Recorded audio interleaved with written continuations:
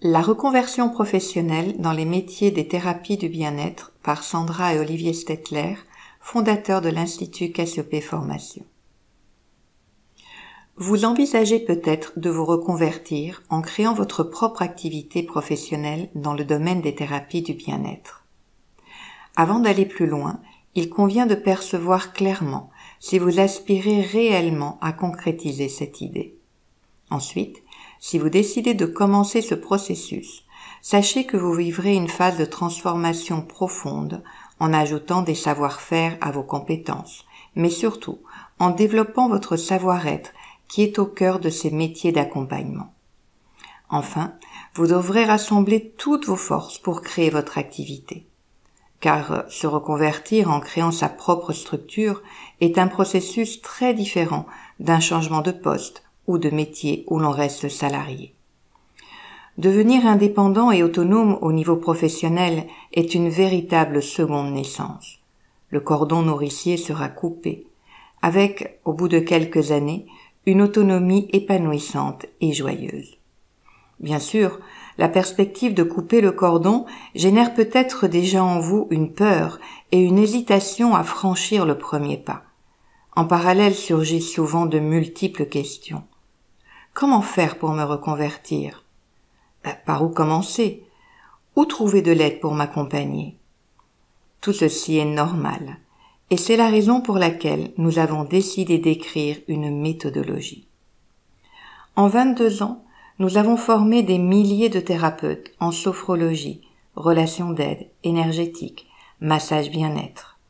Nous avons toujours eu à cœur de les aider à s'orienter vers le bon choix, puis de les former à des métiers grâce à une pédagogie efficace. Enfin, nous les avons accompagnés dans la création de leurs projets professionnels pour leur donner toutes les chances de le concrétiser par une belle réussite.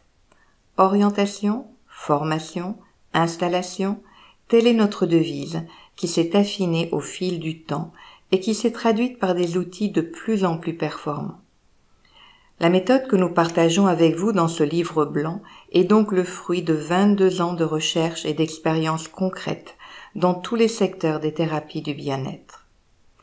Vous découvrirez comment un projet bien mené ne comporte en réalité aucun risque au niveau financier. La peur de couper le cordon est sans objet quand on sait comment s'y prendre. Nous espérons de tout cœur que cette méthode ainsi que les conseils des experts et les témoignages seront un fil d'Ariane qui vous permettra de réussir votre reconversion, de vous réaliser pleinement et d'aider des centaines de personnes à vivre mieux. Être en accord avec ses valeurs, aider l'humanité à s'épanouir et vivre de ses métiers n'est pas une utopie. C'est une réalité pour ceux qui connaissent et appliquent les règles du processus créateur.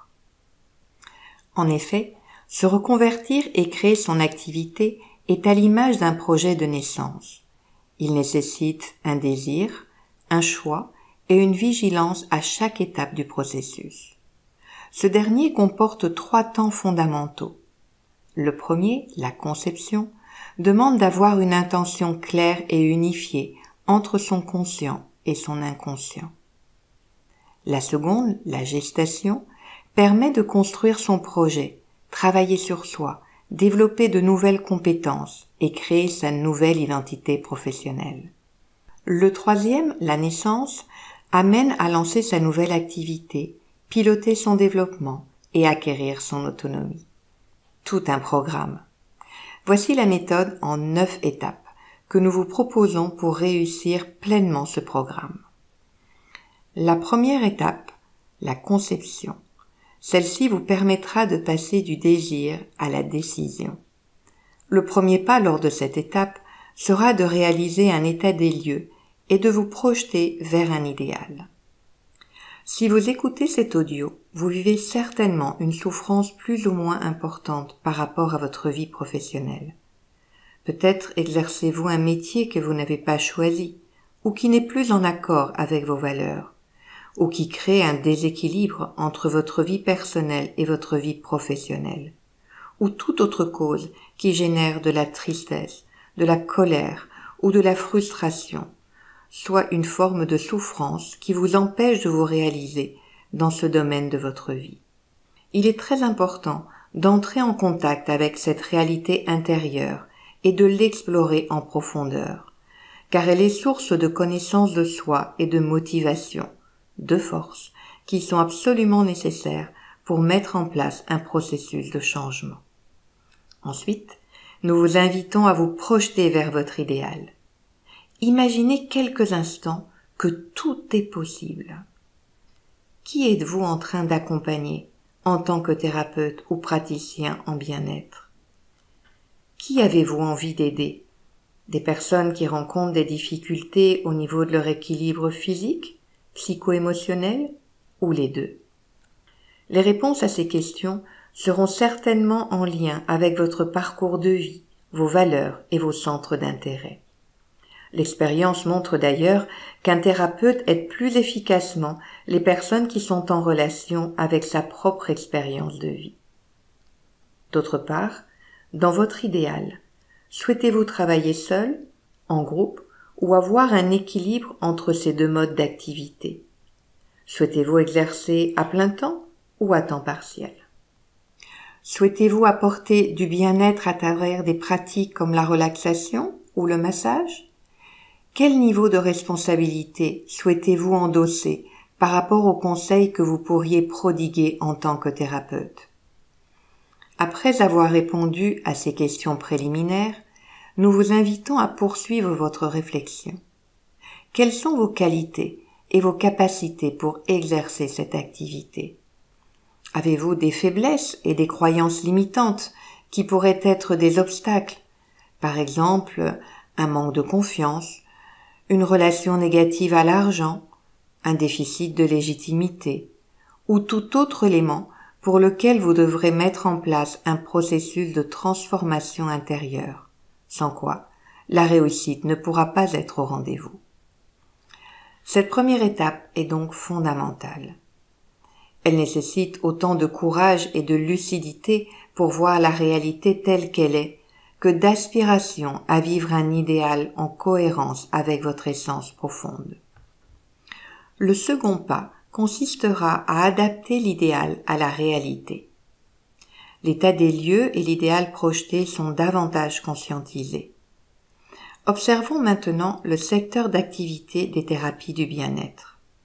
Et pour mieux le comprendre, nous vous proposons de positionner les métiers qui vous intéressent en répondant à deux nouvelles questions.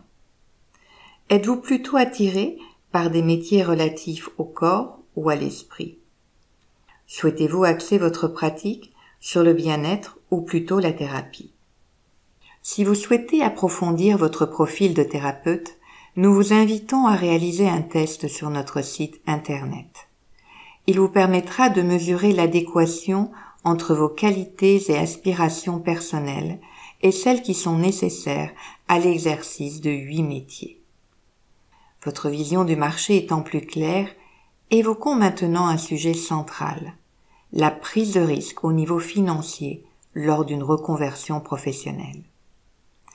Le temps de formation nécessaire pour se former à un métier est en moyenne de 1 à 3 ans, selon la discipline et l'organisme de formation. Et pour générer un revenu entre 2000 et 3000 euros net, il faut compter 3 à 4 ans après l'installation. Ce qui fait une moyenne de 5 ans entre l'entrée en formation et l'autonomie financière complète. Le conseil est donc simple et évident. Garder un travail en parallèle du lancement de sa nouvelle activité. L'idéal étant d'y consacrer deux à trois jours au démarrage et d'augmenter ce temps progressivement sur les trois premières années tout en réduisant l'activité parallèle. Un prévisionnel bien construit est également une clé importante, car il permet d'évaluer le moment où l'arrêt de l'activité parallèle sera possible. En respectant cette stratégie, le risque est donc nul. Il est bien sûr possible qu'entre les prévisions et la réalité il y ait un décalage. L'arrêt de l'activité parallèle pourra se faire six mois avant ou après les prévisions. Mais dans tous les cas, il se fera au moment où cela devient possible. Ainsi, Contrairement à une idée reçue, le passage d'une activité salariée à libérale est sans risque quand on s'y prend de la bonne manière. Et il est d'autant plus facile de nos jours d'organiser cette transition avec les évolutions que l'on constate au niveau du travail à temps partiel et du télétravail. Résumons. La route est tracée. Vous percevez plus clairement qui vous êtes, qui vous voulez aider, quelles sont les compétences à acquérir et les transformations à accomplir. Étudions maintenant les pièges communs sur ce chemin de reconversion. Nous arrivons ainsi au troisième pas, qui consistera à connaître les dangers de la route. L'idée est simple. Partir de l'expérience vécue et apprendre des échecs des praticiens qui n'ont pas réussi leur reconversion. Quelles en sont les causes? Tout d'abord, nous avons constaté qu'il est toujours tentant et confortable psychologiquement d'attribuer à l'extérieur de soi là où les raisons de son échec. Je n'ai pas eu de chance. Oh, ma famille ne me soutenait pas. J'ai dû reprendre un travail salarié car mes indemnités se terminaient. Il y avait trop de thérapeutes installés. Les charges étaient trop importantes. Les séances ne sont pas remboursées. Mais, en réalité, les vraies causes sont toujours en soi et dans le non-respect de certaines étapes du processus créateur. Voici donc les cinq causes principales d'échec que nous avons identifiées. La première, le manque de compétences.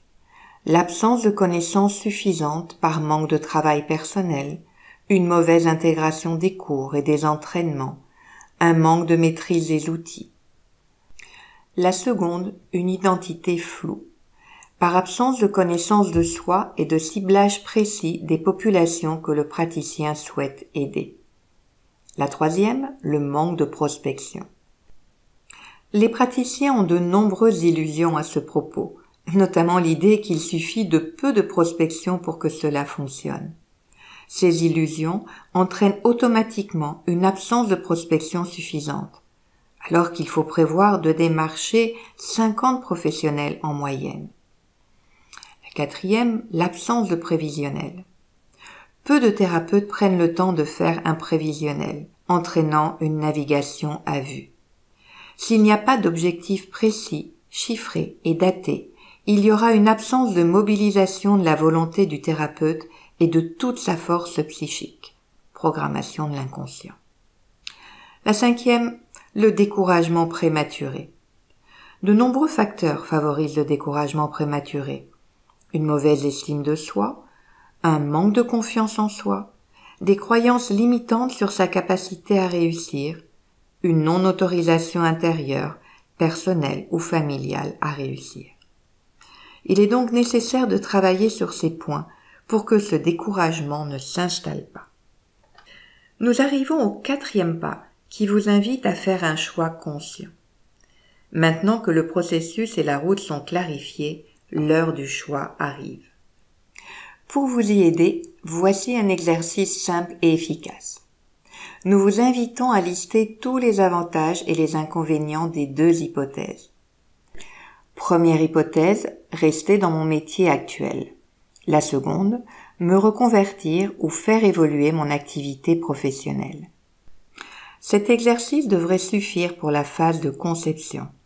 Prendre une décision, et dans le cas d'un choix de reconversion, générer une intention claire et unifiée entre votre conscient et votre inconscient. Cependant, si vous ressentez le besoin de travailler plus en profondeur sur les thèmes que nous avons abordés, nous vous conseillons de contacter un cabinet ou un coach en orientation, voire un thérapeute s'il est nécessaire de clarifier certains éléments au niveau psycho-émotionnel. Nous arrivons au second temps, celui de la gestation, qui vous permet de passer de l'idée à l'action. Le premier pas sera de choisir un organisme de formation. Ça y est, la décision est prise. La première action sera donc de choisir un organisme de formation. Ce choix peut être rationnel ou intuitif, selon votre personnalité. Il peut être basé également sur la confiance que vous accordez aux recommandations. Voici une liste de questions qui peut vous aider à faire votre choix. La formation est-elle orientée métier avec le développement de véritables compétences, des entraînements pratiques et des mises en situation professionnelle? Ou est-elle davantage orientée transmission de connaissances, développement personnel? Quelles sont l'expertise et l'expérience de l'équipe pédagogique? Y a-t-il un accompagnement au sein du parcours? Et un module de formation suffisamment complet sur l'installation professionnelle Quels sont les avis des anciens stagiaires sur l'organisme et la formation envisagée? À ces questions fondamentales s'ajoute également celle du tarif du parcours de formation et sa localisation. Ayez néanmoins à l'esprit que ces deux aspects, même s'ils ont leur place dans votre réflexion, ne vous garantiront jamais une formation de qualité. Justement, comment mesure-t-on la qualité d'une formation? Aujourd'hui, la plupart des organismes sont certifiés Calliope. Selon le ministère du Travail, cette marque vise à attester de la qualité du processus mis en œuvre par les prestataires d'action concourant au développement des compétences et permettre une plus grande lisibilité de l'offre de formation auprès des entreprises et des usagers.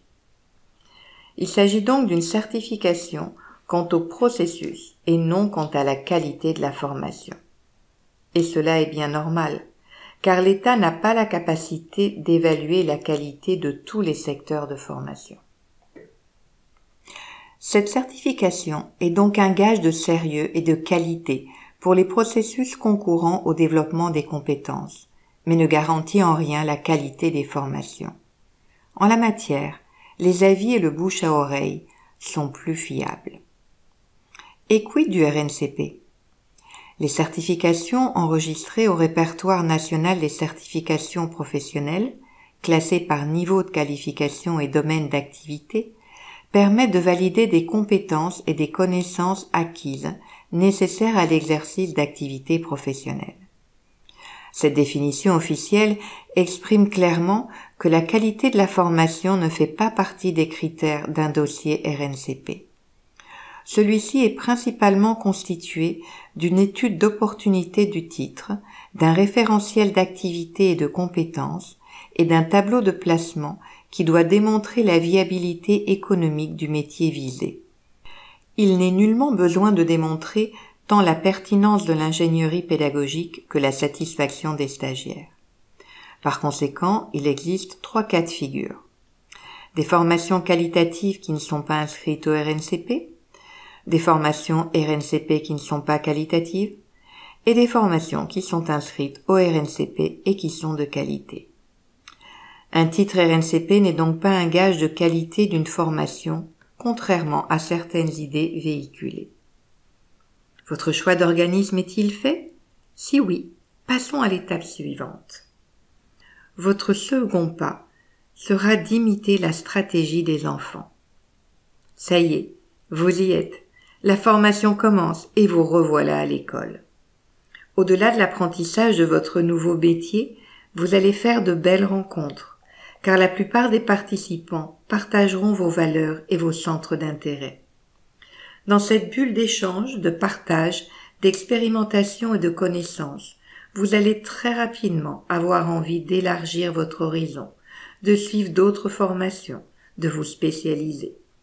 Votre identité de thérapeute va progressivement évoluer et se remodeler. Quelle est la bonne stratégie? Celle des enfants et du pas à pas. Allez à la rencontre d'autres approches, Gardez cette dynamique d'exploration de votre intériorité. Que cette boussole vous guide vers les bons choix et votre manière personnelle d'être thérapeute ou praticien en bien-être. Car il ne s'agit pas de modéliser un rôle ou une fonction, mais avant tout d'être vous-même en tant que thérapeute ou praticien en bien-être. Mais soyez vigilants, car au cours de ce processus, un danger peut survenir si vous oubliez les clés en cours de route. Votre troisième pas consistera ainsi à garder une clé dans chaque main. Passez l'effervescence du premier stage, l'heure de l'organisation et de la motivation a sonné. L'activité professionnelle, la vie familiale, les amis, comment faire une place suffisante à votre projet de reconversion dans vos journées déjà bien remplies? Acquérir des connaissances, expérimenter les pratiques, lire des livres, regarder des documentaires, s'entraîner sur soi et sur ses proches, tout un programme qui nécessite deux clés pour ne pas se perdre dans les priorités du quotidien qui s'enchaînent. Il convient tout d'abord de bien s'organiser sur le papier, mais surtout dans les faits, et de s'en tenir à ce qui a été décidé. Un processus de reconversion demande en général 4 à 5 heures de travail par semaine. Ce rythme est souvent compatible avec l'ensemble des activités existantes, mais encore faut-il le respecter chaque semaine. C'est là que la motivation va faire la différence. Ce désir puissant de changer de métier doit être présent afin de tenir les efforts dans la durée. Résumons à nouveau. Vous avez émis une intention claire et puissante de reconversion. Vous avez fait un bon choix de formation. Vous avez développé de nouvelles compétences et vous avez initié une transformation intérieure. La phase de gestation arrive à son terme. Vous voici à l'aube du troisième temps, celui de la naissance, qui vous invite à passer du projet à la réussite. Le premier pas sera de construire votre projet en sept étapes. Ce jour de naissance approche.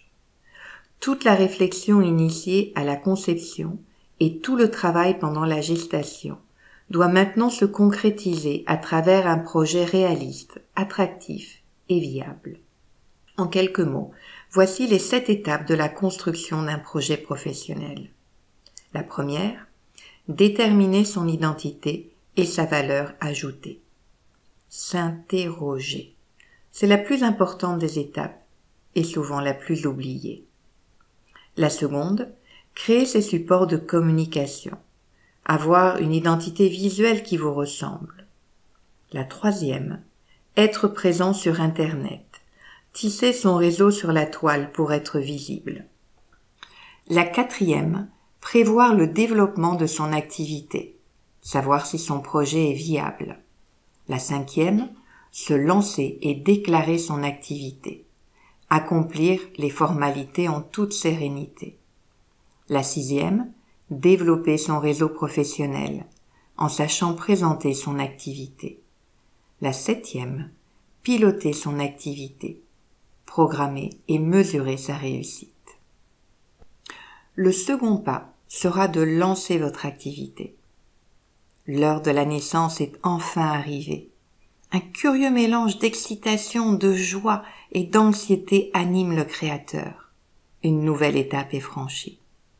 C'est le moment de repenser d'où vous venez et où vous allez. Plus tard, il restera une dernière question. Comment allez-vous célébrer votre réussite dans quelques années? D'ici là, souvenez-vous que la réussite ne s'improvise pas, elle se crée en neuf étapes. Vous pouvez retrouver ce livre blanc sur notre site internet cassiope-formation.com. Nous vous souhaitons de tout cœur une merveilleuse réussite.